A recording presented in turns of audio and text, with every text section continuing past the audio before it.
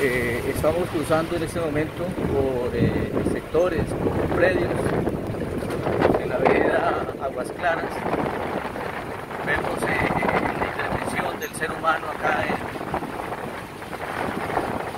en, en la deforestación que están haciendo por estos lados. Vemos la magnitud que se ha hecho este año. Este año se han hecho unos intentos por seguir deforestando la tala del bosque. Aquí nos encontramos sobre el costado derecho de la vía Aguas Claras a San Vicente de Tiahuana.